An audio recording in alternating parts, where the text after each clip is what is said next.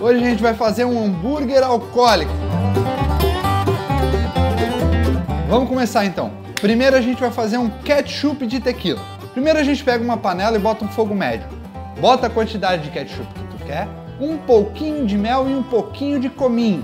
Dá uma misturada até a massa ficar homogênea e aí então a gente vai colocar a nossa tequila. Lembrando, fogo médio para não evaporar o álcool. Não bota muito, senão fica muito aguado. A gente dá uma misturada e tem o nosso ketchup de tequila. Agora então, cebola. A gente faz ela na panela, frita ela junto com manteiga e um pouquinho de açúcar para dar aquela caramelizada.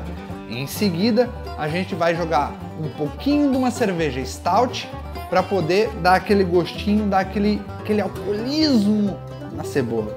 E então, finalmente, vamos para nossa carne. Como é que a gente vai fazer? Dá aquela misturada, carne da escolha. Vamos fazer então o nosso hambúrguer.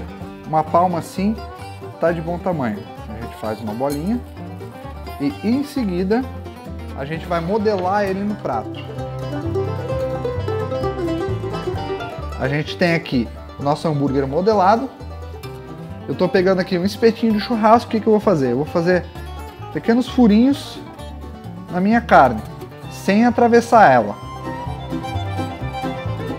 E aqui é que a gente vai fazer a nossa infusão de uísque. Botar bem pouquinho, só um cortezinho.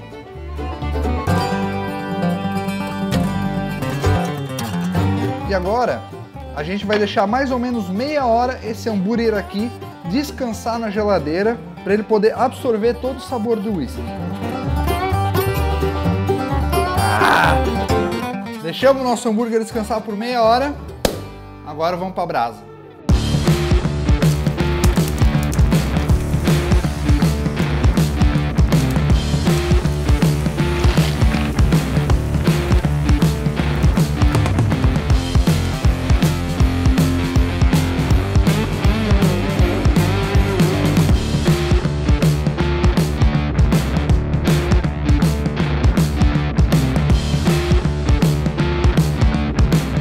Tá pronto o nosso hambúrguer alcoólico, hambúrguer de whisky, ketchup de tequila e cebola dourada na stout. Hora de provar. Você sente uma coisa diferente.